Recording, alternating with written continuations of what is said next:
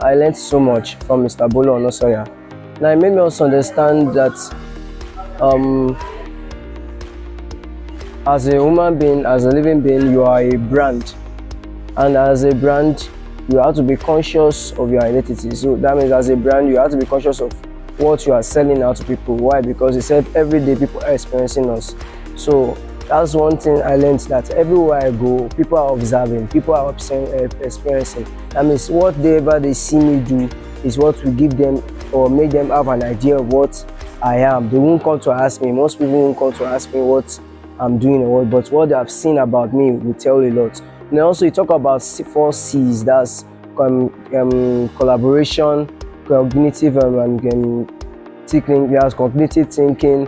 We talked also about um, having um, creativity, that's having the ability to go to create something new out of an existing or also creating something that is totally different, which is very, very important in the workplace. and ability to go to tackle um, problems, that's you know, how to go to um, interpersonal, like interpersonal skills, how to relate to people. You have different kind of people in life. You will be privileged to meet with a lot of people in life.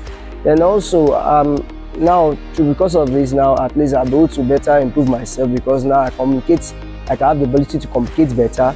I'll be very very conscious that I am a brand, and I also have to be careful of how I relate.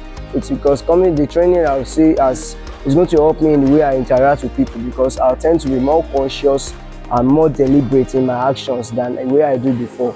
And it also I'll be able to at least plan ahead, know how to relate to people, to help in my interaction with people because I've learned that in communicating with people, we have to be active listeners, we have to communicate more. So that's one thing that I also help, I also try to um, work on. That's my interaction with people, how I can communicate effectively and get response from people and also how to go to solve problems at least i've learned a lot so even though peradventure a problematic kind of person comes my way i've learned okay this is the way you deal with them and how to deal with them um, my name is um, Ndah Olariwaju Adeboye.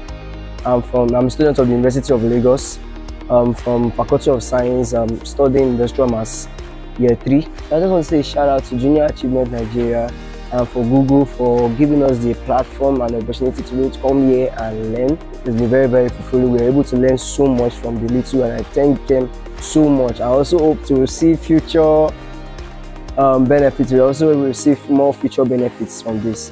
Thank you.